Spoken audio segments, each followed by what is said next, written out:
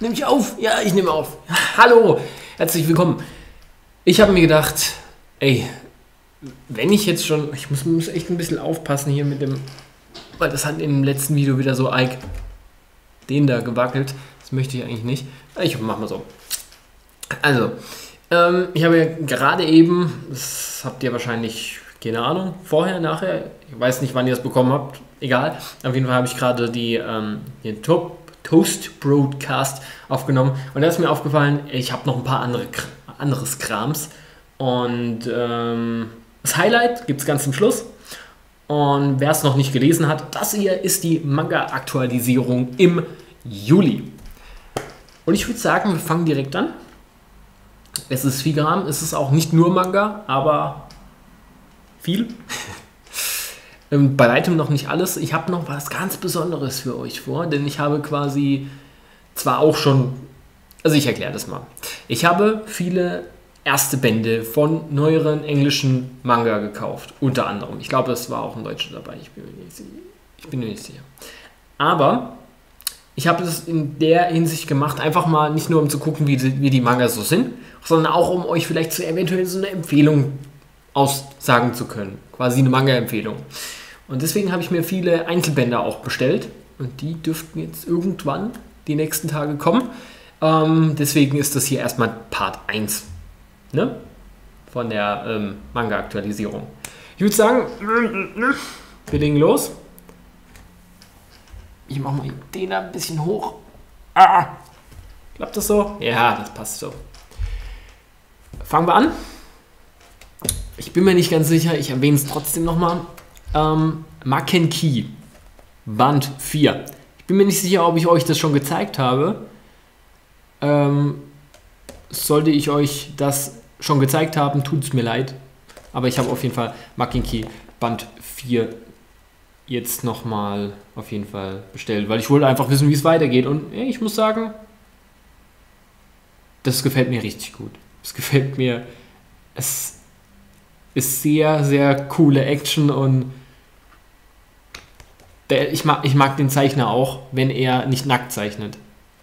Ja, ähm, das ist jetzt ein bisschen merkwürdig, aber ich finde, dieser Zeichner kann nicht, also der, man, ist, man weiß es ja, der Marking Key Zeichner, der gute Takeda Hiromitsu, ist eigentlich eher für Hentais, äh, Hentai Manga, also Ero Manga und äh, Dojinshi bekannt. Ich habe mal ein oder andere Werke kommt man nicht drum rum, wenn man mal nach ähm, eben nach äh, seinem hier äh, nach seinem Namen oder seinem äh, Doshinji Nickname sucht, kommt man da eben halt nicht drum rum. Aber man muss sagen, ich mag seine nackten Zeichnungen nicht. Also ich finde, der kann, der zeichnet eigentlich relativ hässliche Brüste. Die sehen nur verpackt gut aus, also auch in Makenki und so, aber sobald er wirklich einen, einen Hentai, also einen Ero-Manga zeichnet, hört es bei mir auf, die Faszination. Dann merke ich richtig irgendwie, nee, das kann er nicht, das sollte er eigentlich lassen. Also, aber es gibt auch viele Fans von ihm, also ich möchte da jetzt nicht zu viel sagen, aber ich finde es nicht so pralle. Ja, schlecht. Gut, kommen wir weiter, denn ich habe einen Manga vollendet, endlich. Das macht, es ist so ein tolles Gefühl auch irgendwo. Es ist ein schlechtes Gefühl, weil man ist irgendwie traurig, aber es ist auch ein gutes Gefühl, mal einen Manga zu komplett, kom komplettiert zu haben, weil man weiß, man muss nicht mehr ähm, vielleicht später mal Tausende von Euro ausgeben, weil es selten geworden ist und weil irgendein Sammler meint, äh, das ist selten, ich verkaufe das jetzt für 900 Euro. Dazu das. Ja, das ist meine ehrliche Meinung dazu und ich werde da auch wirklich wütend. Deswegen schauen wir uns das mal an. Resident Evil oder beziehungsweise Biohazard des Marhava, ja, Marhava Desire. Der fünfte und letzte Band von Kase habe ich mir gekauft, weil erstens mal ist es irgendwo eine Videogame-Adaption, ja, also Resident Evil gab es vorher noch nie als Manga, so viel ich weiß. Und das war halt wirklich was Besonderes. Dann hat das Szenario auch noch Capcom gemacht, das heißt, man erwartet was und ich muss sagen, es fühlt sich halt nach wie vor auch jetzt im letzten Band an wie ein typisches Resident Evil Spiel. Erinnert oftmals an manche Passagen, gerade so die letzten Passagen erinnern sehr an Resident Evil 4 gegen Ende. Und auch ansonsten, es macht einfach Laune. Es ist ein echt, er ist nicht atemberaubend, aber das ist halt Resident Evil. Resident Evil ist nicht, boah, bist du auf Welt, sondern Resident Evil macht Spaß. Und das ist meiner Meinung nach das, was es halt gemacht hat. Der Manga hat Spaß gemacht und ich bereue nicht, diesen Manga in meiner Sammlung zu haben und ich werde ihn auch nicht verkaufen, weil ich finde ihn wirklich gelungen. Weil er fühlt sich sehr an wie die älteren Spiele, die ich ja durchaus liebe. Was mir dann aufgefallen ist, was mir so ein bisschen so einen Wow-Moment gegeben hat, ähm, das ist jetzt auch nicht wirklich Spoilern, ähm, aber ich muss es einfach loswerden. Das hier ist das Prequel zu Resident Evil 6. Das ist cool gemacht, weil äh, wenn man den Manga quasi gelesen oder das Spiel gespielt hat, dann weiß man so ungefähr, was halt äh, noch so abging in der Vergangenheit oder so. Ähm, ich finde es ganz cool, ehrlich gesagt. Da steht da so, weiter geht's im Spiel Resident Evil 6. Und da habe ich so gedacht, geil. Und ähm, es gab gegen Ende ein, ein für, ich sag mal, wenn Leute jetzt Resident Evil nicht kennen, also wirklich nicht kennen, auch so von den Charakteren und so her nicht, dann ist der, der Endtwist, sage ich mal, eher unbedeutend. Ja? Wer sich das jetzt so gekauft hat wegen Zombies und so, ähm, der wird wahrscheinlich mit dem Endtwist nicht viel anfangen. Aber ich konnte was mit dem Endtwist anfangen und ich fand den, wow, fand den Oh shit. Richtig, richtig geil. Super. Resident Evil 5, äh, Resident Evil Mahava Desire 5 ist fertig und. So, dann ist leider nur Band 2 angekommen. Band 1 müsste heute noch im Laufe des Tages wahrscheinlich ankommen, aber ich habe jetzt gedacht, ich mache das einfach jetzt, dann habe ich es hinter mir. Später schaue ich nämlich Fußball an mit Simon zusammen und äh, danach werde ich wahrscheinlich nicht mehr in der Lage sein, irgendwie ein Video aufzunehmen. Deswegen das Ganze heißt Sickness unto Death 2. Nein, Sickness unto Death. Es ist in, in zwei Bänden abgeschlossen. Und Sickness unto, de unto Death, also krank sein bis zum Tode. Oder Sickness ist ein vielleicht gestört sein oder so. Ich weiß nicht, also irgendwie so sowas. Ist auf jeden Fall ein englischer Manga. Er ist in zwei Bänden abgeschlossen. Und ich fand den irgendwie interessant. Nicht nur vom Titel, sondern auch von der Prämisse her. Und ähm, ist jetzt leider nur Band 2. Band 1, wie gesagt, ist halt noch, ist halt, wird halt noch kommen und ich fand es irgendwie interessant. Ich merke halt auch immer wieder, wie mich äh, englische Manga dann doch ein Stück mehr faszinieren, weil sie einfach sich auch mal was trauen, Leute. Ihr traut euch mal was. Das ist irgendwie, dieses, das sind so zwei Bände und das kann auch voll nach hinten losgehen, weil es keinen interessiert, aber irgendwie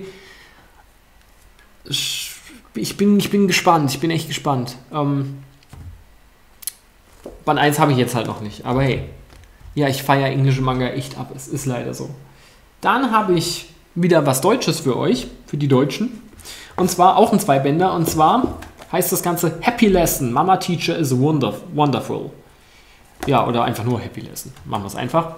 Ist ein Comedy-Drama mit Harem-Elementen. Habe ich noch nicht gelesen. Aber ich ähm, fand irgendwie die Zeichnung ganz cool. Irgendwie haben die mir zugesagt. Ich kann es gar nicht so wirklich sagen, warum. Aber ich kann auch nicht sagen, worum es geht, ehrlich gesagt. Aber ich fand irgendwie die Aufmachung her und alles, es fand doch recht toll. Und dafür, dass es halt schon wieder einer dieser älteren ähm, Tokyo Pop Manga ist, also da, wo Tokyo Pop für männliche Leser auch noch äh, mehr oder minder von Relevanz war, ähm, da muss ich mir dann immer mal wieder was aus der alten Zeit ja, holen. Und irgendwann äh, ist Tokyo Pop teilweise, wird immer weniger dann interessant für mich. Sage ich jetzt, aber ich habe mir drei Bände aus eBay bestellt von Tokyo Pop. Und zwar recht günstig, weil die ersten drei Bände sind im Moment vergriffen und werden nicht nachgedruckt. Weil Tokyo Pop. So, Letter B habe ich mir jetzt endlich geholt. Ich habe mir endlich Letter B geholt. Leute, endlich ist es wahr. Letter B ist dieser Manga, in den ich viel, viel Hoffnung reinstecke, weil ich den, die, die ersten paar Episoden vom Anime richtig, richtig awesome fand. Und ich bin einfach gespannt, ob es, ob es dem, das beibehält. Erstens mal muss ich ein Lob an diese äh, Ebay-Verkäuferin geben, weil die hat Top-Qualität, also das ist, das ist nahezu neu, dieser Manga. Und sogar hinten hat sie noch witzigerweise bei diesem Manga diesen Preiskleber dran gelassen. Okay. Ich bin ja jemand, der das immer abmacht, weil das stört mich einfach, wenn der unten. Ja, ja, ich hasse es. Ich hasse es. Ja, Letter B. Auch deutsch übrigens, ne? Ist ein Fantasy-Manga. Und ähm, der Zeichenstil ist schon sehr anders. Aber ich finde den ehrlich gesagt ziemlich interessant und die Geschichte und die Prämisse, ich freue mich, ich freue mich richtig. Es macht mir richtig Bock. Ich habe so Bock und ich werde den Manga auch endlich mal wirklich sammeln. Äh, je nachdem, wie mir die Episoden gefallen, aber ich weiß nicht. Ich, ich sag's mal einfach so. Allein, allein dieses Bild. Warte mal. Ohne dass es schimmert. Ohne dass es schimmert. Ja, das ist gar nicht so einfach. Kennt man's? Dieses Mädchen auf dem Rollschuh mit der Waffe. Ist eine Waffe, ja. Ich weiß nicht, das, das sagt für mich aus, dass der Manga auf jeden Fall sehr, sehr dramamäßig ist. Aber ich glaube, der gefällt mir richtig gut. Ich freue mich echt drauf. Was mir jetzt gerade irgendwie auffällt. Das ist. Ach so. Ach, ach so, ich habe ich hab das hier unten erst jetzt entdeckt. Dieses komische Einhorn da, das symbolisiert, dass es Fantasy ist, steht hier hinten nochmal drauf. Okay, das finde ich eigentlich gar nicht mal so ungeil. Wobei ich letzten Endes eh immer einen Manga rausziehe und mir den erstmal angucke. Aber nicht so schlecht finde ich die Idee gar nicht. Ist es bei neueren Tokyo Pop Manga immer so? Ich habe hab da jetzt gar nicht aufgepasst, weil bei den älteren ist es noch nicht. Find, die Idee finde ich eigentlich ganz nett. Wobei, ich frage mich, frag mich, wie das dann heute in den Läden aussieht. Es gibt wahrscheinlich irgendwie ein Zeichen für Jojo und es gibt ein Zeichen für oder ein Zeichen für äh, Romance, sag ich mal, und es gibt ein Zeichen für ähm, Yaoi oder so. Und dann sind einfach die ganzen, ganzen Regale, siehst du nur noch Herzchen und wie stellt man Yaoi da? Zwei Penisse, die sich übereinander kreuzen, so. So, so an diesem Buchrücken. Du denkst, hoppala. Du denkst so, alles voll. Alles Romance, Yaoi, oh mein Gott. Ich stelle mir das gerade witzig vor, irgendwie. Ja, ich, ich bin mir ziemlich sicher, dass es zwei überkreuzte Penisse sind. Ich bin, bin mir ziemlich sicher. Ähm, dann habe ich mir, Englisch, ähm, sind wir wieder, den letzten Band, beziehungsweise die letzten drei Bände sind einfach mal 7, 8 und 9 sind drei Bände. So, so gesehen. Ja, okay. Streng, streng genommen sind es irgendwie, glaube ich, zwei, oder?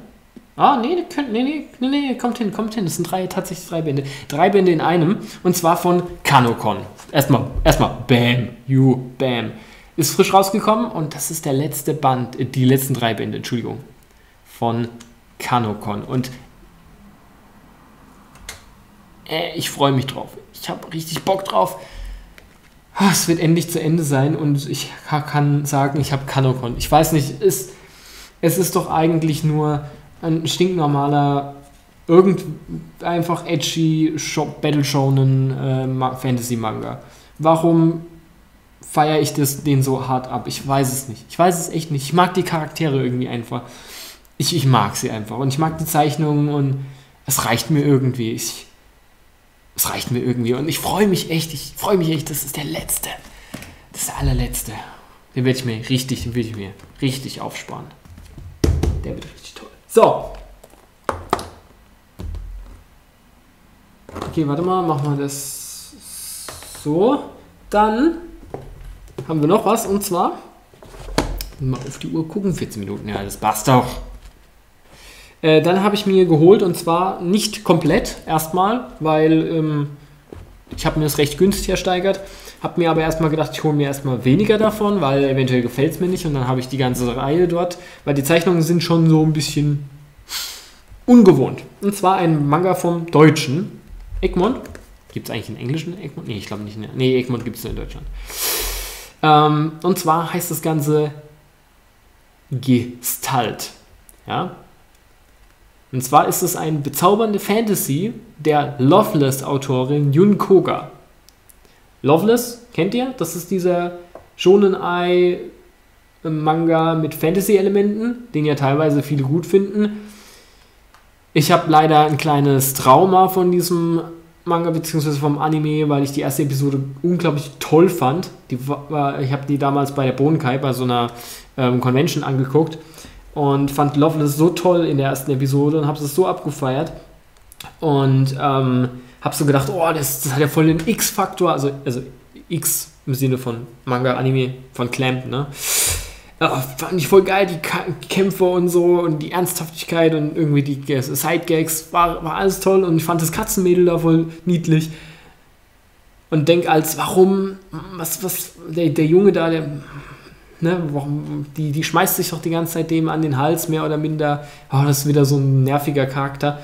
Und dann am Ende in der ersten Episode tut der andere da, dieser Typ, der da irgendwie halt mächtig und zaubern kann und so, schützt den, den anderen Katzenjungen da und gibt ihm dann am Ende von der Episode einen Kuss und ich denke mir, oh nee, oh bitte.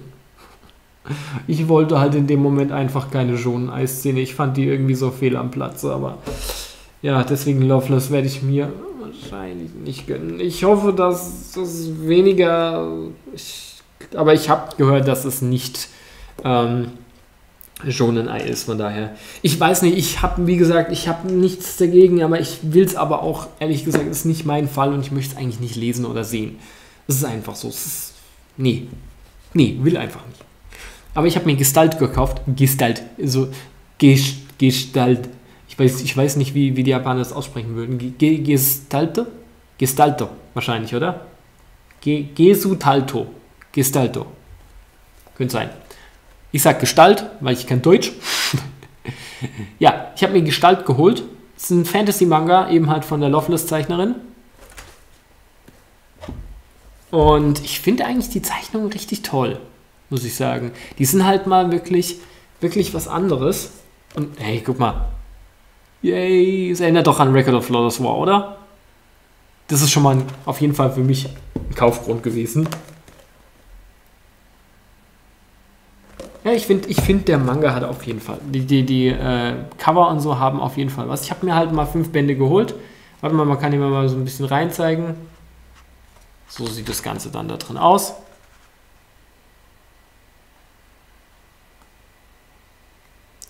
Damit man sich so ungefähr vorstellen kann, was da so drin ist. Ja, hey, ähm, Gestalt. Kannst du nochmal hochheben. Auf jeden Fall cool. Ich äh, bin gespannt, äh, wie es wird. Ich äh, sag euch dann, ob ich es empfehlen kann oder nicht. Äh, wenn äh, es mir gefällt, kann, werde ich sowieso noch die restlichen drei Bände, ich glaube acht Bände hat es insgesamt oder so, ähm, die sind recht easy zu bekommen, ehrlich gesagt. In, in Amazon kriegst du die locker. Aber ähm, die ersten paar Bände haben halt Probleme gemacht und deswegen habe ich mir gedacht, ja gut, dann holst du halt mal diesen Fünferpack, weil anders kriegst du es wahrscheinlich nicht und zahlst oben drauf. Manchmal findet man bei eBay Leute, die einfach noch fair bleiben. So.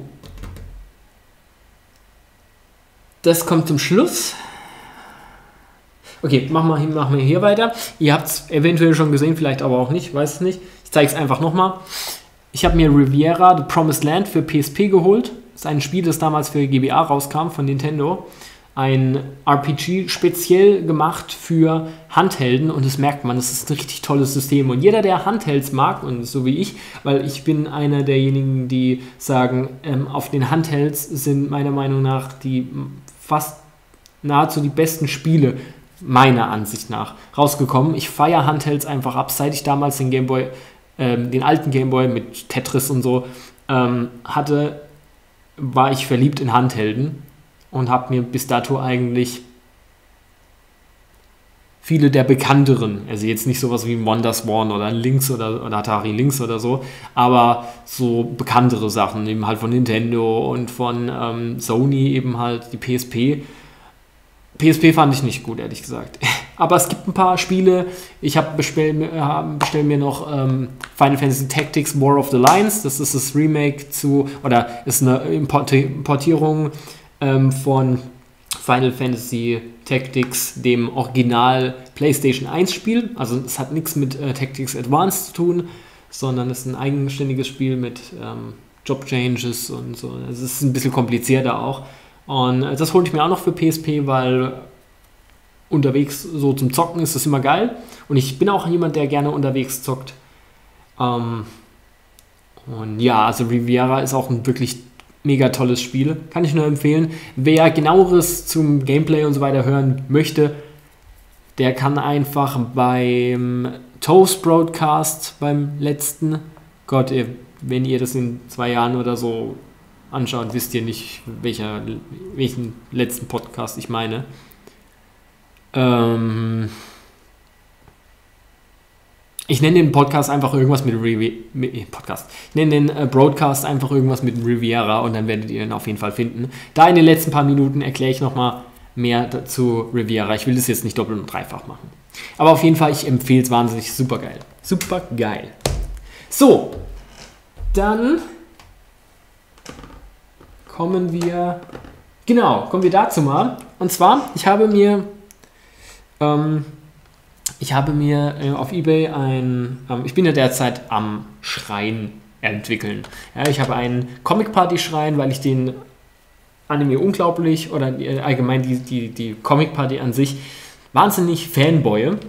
Und äh, da habe ich mir eben etwas zugelegt und zwar das Spiel, ein Doshinshi-Spiel. Also Doshinshi-Spiel zur Erklärung, ähm, es sind von Fans für Fans entwickelt und dient entweder der Parodie oder auch einer Hommage, also einem, ähm, einem äh, die Entwickler von diesem Spiel dann zum Beispiel oder von, von dem Doshinji, von dem ähm, von einem Manga von Fans für Fans. Wir kennen ja wahrscheinlich die einen oder anderen, wahrscheinlich eher die Hentai-Version, aber hey, es gibt auch normale.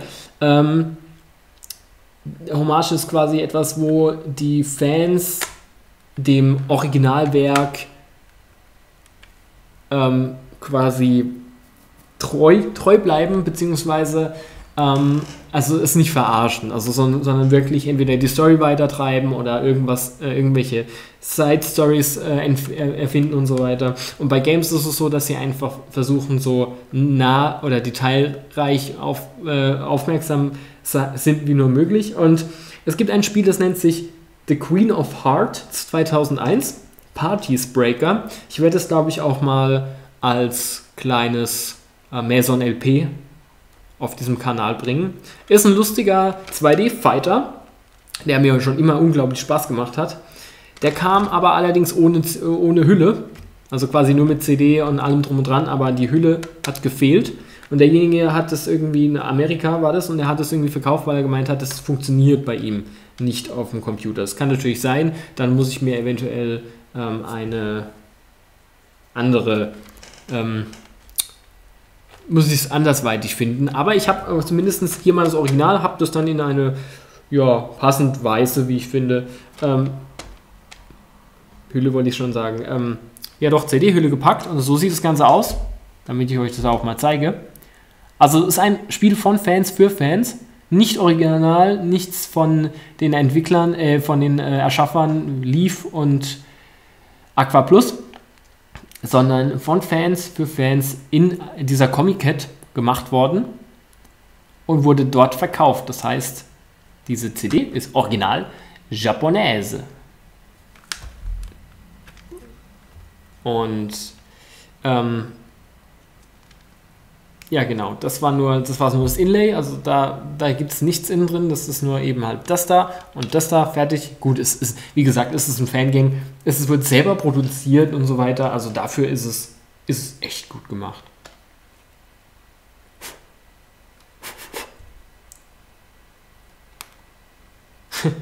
Aber da hat sich der Staub schon drin abgesetzt. Das habe ich gar nicht gesehen. Da muss ich, muss ich wahrscheinlich nochmal rausholen. Egal. Auf jeden Fall sieht man es hier echt, echt toll.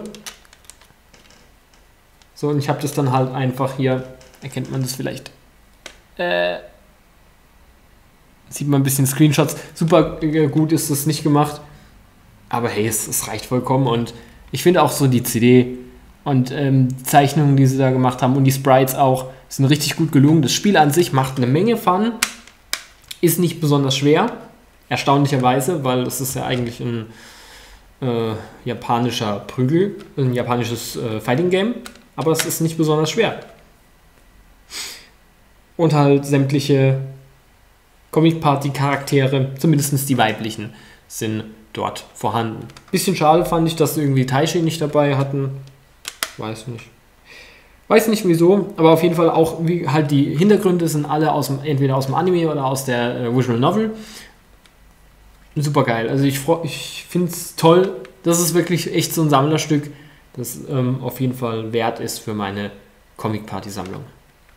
So. Dann kommen wir mal zu den Figuren. Bleiben wir noch ein bisschen bei Comic Party, denn ich habe hier, was ich ein bisschen schade finde, dass man die anderen Figuren leider irgendwie gar nicht findet im Internet.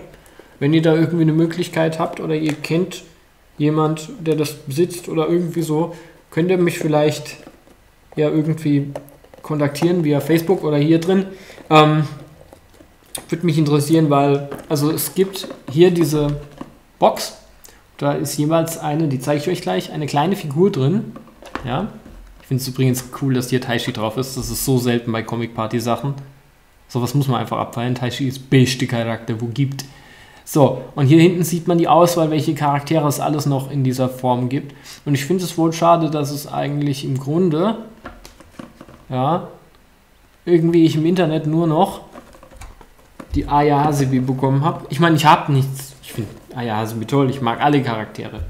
Und ich finde auch die Figur dafür, dass sie, sag mal, ja, so, so klein und unbedeutend ist, ich finde die eigentlich recht hübsch gemacht, muss ich sagen. Klar, die hat ein klein wenig Derp-Face. Warte mal. Scharf, scharf, scharf, scharf, scharf. Scharf. Na gut, es wird nicht scharf. Gut, machen wir es so. Erkennt man, ne? eigentlich recht hübsch gemacht. So wirklich, also da wird schon ein bisschen Detail reingemacht. Es ist eine kleine Figur, ihr seht hier mal der Vergleich. Aber ist eine hübsche Figur, finde ich. Ist eine, für, die, für die Größe ist es eine verdammt hübsche Figur. Und ich hätte gern irgendwie alle davon. Aber natürlich, wie es halt immer so ist, ist nicht. ist leider nicht. Ähm, wie gesagt, wenn ihr irgendwie wisst, wenn ihr, keine Ahnung, ich weiß ja nicht, vielleicht gibt es ja irgendjemand, der Comic Party mag. Gibt es einen jemanden, der da draußen Comic Party mag? Ich meine, jetzt außer dich, Zapacho, de, bei dir weiß ich's. Oder ich weiß es irgendwie, dass du es zumindest angeguckt hast wegen mir. Das ist schon mal wie wert, das reicht für mich vollkommen. Ähm, ich fände es so geil, wenn irgendeiner von euch sich echt Comic Party geben würde. Als Manga, Anime, Spiel, keine Ahnung, vielleicht können die Japanisch. Und, ähm, das wäre für mich so ein richtiges Mission Complete Gefühl einfach. Schreibt es mal in die Kommentare, ob irgendjemand von euch durch mich Comic Party sich mal gegeben hat. Ja, auch wenn ihr es scheiße fandet oder so, einfach einfach nur allein der Gedanke, dass ich es vielleicht geschafft habe, euch die Serie dann doch so schmackhaft zu machen, dass ihr es wenigstens versucht mal anzuschauen oder wie gesagt äh, zu spielen oder so. Das fände ich mega cool. Okay, dann ähm, gibt es noch, ups, dann gibt es noch, noch was, ähm, was ich irgendwie schon so ein bisschen zu meiner Comic Party Sammlung dazu zähle, weil ähm, die zwei Serien Comic Party und diese hier machen gerne mal Crossovers. Und da habe ich mir einfach gedacht, irgendwie, irgendwie passen die schon zu zwei zusammen. Und deswegen es sind auch zwei Visual Novels von der, also Aero Games von der gleichen Firma, also von Aquaplus und Leaf. Und zwar habe ich mir geholt Too Hard 1 bis 4. Die Besitzerin vorher, die hat diese DVDs so liebevoll behandelt. Es ist, ich meine, das muss schon ziemlich alt sein. So liebevoll behandelt und auch der Schuber ist noch in richtig tollem Zustand. Ich wollte unbedingt einen Schuber dafür. Ich habe einfach gedacht, ja, ich habe einfach gedacht, ups, lass so rum. Der Schuber muss einfach sein. Der sieht auch schon so toll aus, oder? Findet ihr nicht? Ich finde ihn, find ihn super. Finde ihn absolut super. Da ist Multi. ja, auf jeden Fall. Können wir mal kurz rausholen. Äh, so. So. Äh, so. Und dann so. Ups. So. Gut. Gezeigt. Ähm, Deutsch war doch recht günstig, aber, war, aber trotzdem war mir jeder Preis wert. Gerade weil es äh, selten ist, noch einen Schuber irgendwo zu finden. Anime-Haus. Oh Gott, das waren Zeiten, hey. Ähm, ich muss sagen, ich muss ja dazu mal was äußern, jetzt, wo wir gerade bei dieser Tuha-DVD-Sammlung sind.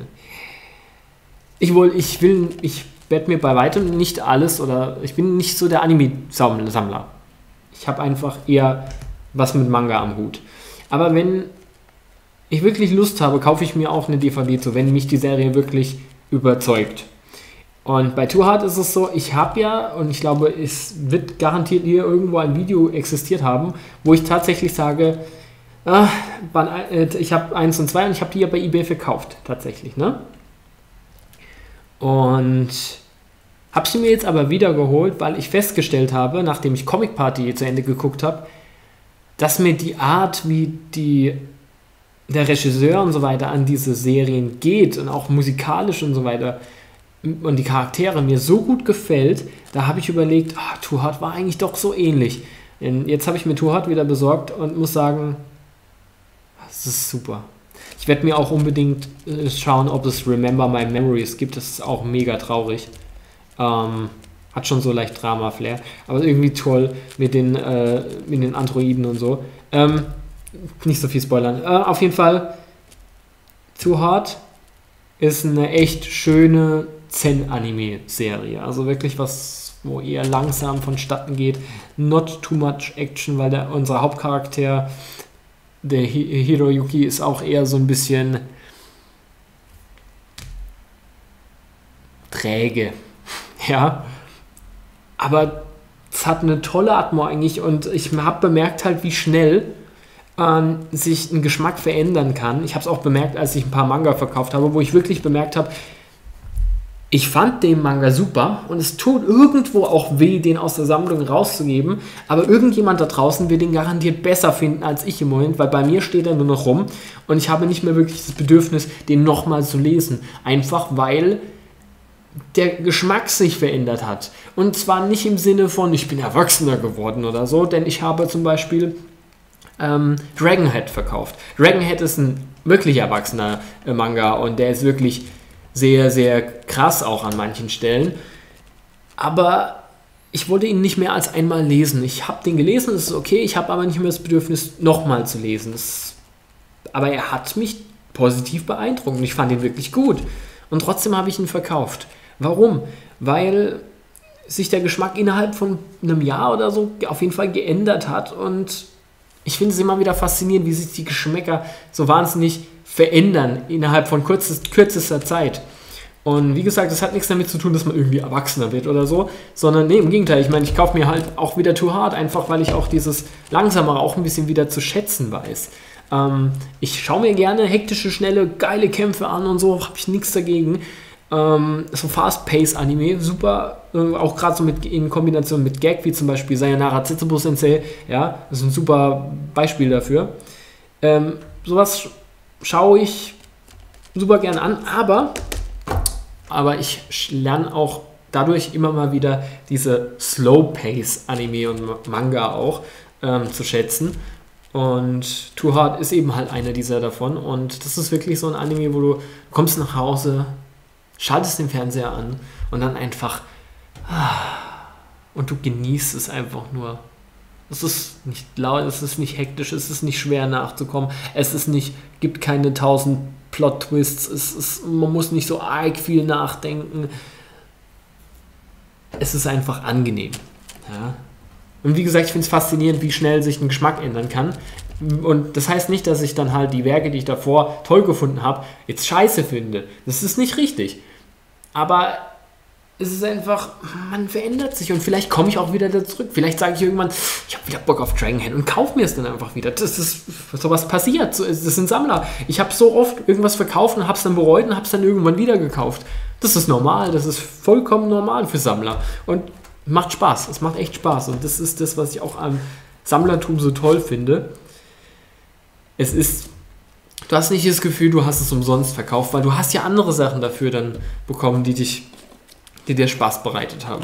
Das ist nie umsonst. Nie. Auch wenn du dir es irgendwann wiederholst. Es ist immer irgendwas Besonderes, es wieder dann zu sehen und wieder anzuschauen. Und ja, auf jeden Fall nochmal Too Hard 2, äh, Too Hard. Too Hard Box, super toll.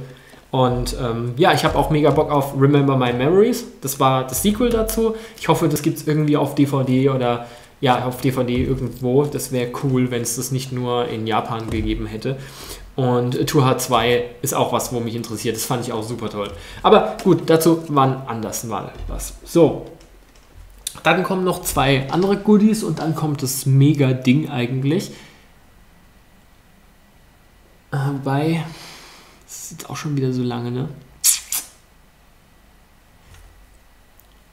Ich weiß nicht, ich will. Nee, ich mach das. Nee, ich mach das Mega-Ding ähm, in, in dem zweiten Teil. Und dann kommt noch ein dritter Teil mit den Sachen, die dann noch dazugekommen ist. So machen wir es. Genau. Ähm, ich zeige euch aber noch kurz was. Und zwar zum einen, ich habe mir wieder mal zwei äh, One Piece Figürchen geholt. Ich konnte mich nicht. Ich konnte. Was ist los? Achso, ich dachte. Ähm, ich konnte mich nicht äh, beherrschen. Du, wenn du zwei Charaktere aus der neuen Arc, die ich wirklich cool finde, sind halt mal wieder die weiblichen Charaktere. Ja, ich weiß. Aber irgendwie, ja, ich mag die einfach. Ich weiß nicht von den. Es gibt, es gibt eher weniger. Ich, Im Dings Duval fand ich noch cool, aber Duval gab es irgendwie zu der Zeit. Ich habe ich hab ihn nicht als kleine Figur, Figur jetzt gefunden gehabt. Äh, irgendwann werde ich den auf jeden Fall noch nachholen. Aber Bandai macht immer diese kleinen One Piece Figürchen und ich habe mir so ein bisschen zur Aufgabe gemacht, so die Charaktere, die ich cool finde, so nach und nach nachzusammeln. Und jetzt, da ich gerade wieder aktuell Anime und Manga äh, lese von One Piece, mal um wieder weiterzukommen und es auch wirklich genieße, die neue Arc, die ist richtig geil. Die Dressrosa Arc ist echt geil. Gefällt mir richtig gut. Habe ich mir die gute Rebecca geholt. In Kleinformat, ne? Also ihr seht, nicht sehr groß, aber ich finde die einfach hübsch gemacht. Ich finde so kleine Figuren haben auch was. Oder? Findet ihr nicht? Doch. Rebecca, die Gladiatorin, weil ich mag das so mit dem Schwert und dem Helm. Ich finde, es hat was. Ich finde auch allgemein, der, ihr Charakter hat was. Ich bin aber noch nicht so weit in One Piece. Ich hab, bin erst auf ähm, Anime-Höhe.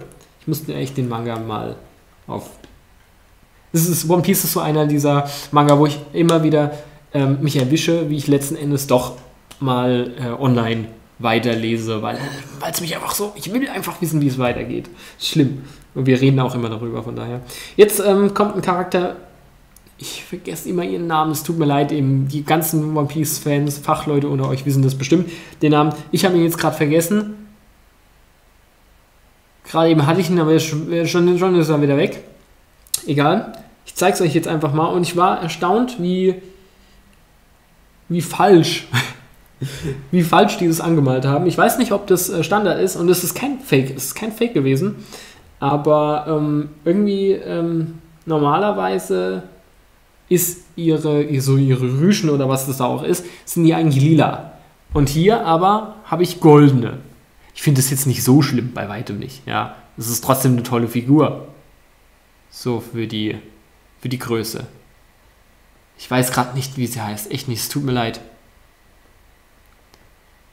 Und ja, ich finde es mit Gold auch. Das hat auch was mit Gold, also so ist nicht. Aber normalerweise sind die lila. Habe ich zumindest im Kopf. Ich bin mir ziemlich sicher, dass die lila sind normalerweise. Und ja, ich weiß nicht, vielleicht habt ihr es auch mal bestellt und ist euch aufgefallen, dass vielleicht dies immer so Gold ist oder gibt es auch wirklich die Variante mit lila? Gibt es zwei Varianten? Aber es stand halt nichts äh, außen drauf. Ich glaube einfach, da hat jemand einen Fehler gemacht. Und ja, ich, wie gesagt, ich habe mich versichert. Das war komplett verpackt und es war keine Fake-Verpackung, weil das erkennt man nämlich. Und ja, ist auch eine hübsche Figur. Da habe ich die zwei von One Piece mal, die aktuellen Charaktere. Und hey, ich würde sagen, das war's. Das ist wirklich mehr als genug.